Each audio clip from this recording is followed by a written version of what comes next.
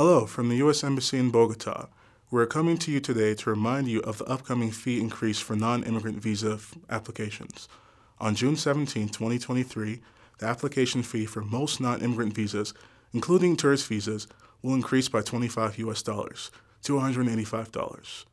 Non immigrant work visas will increase by $15 to $205, and investor visas will increase by $110 to $315.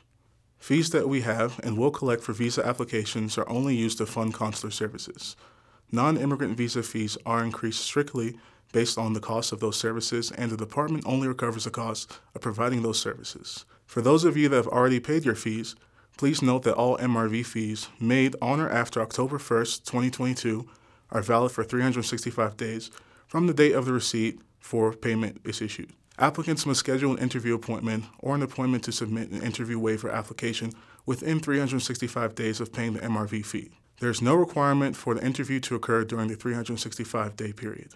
More information on non immigrant visas, as well as visa categories, can be found online at travel.state.gov.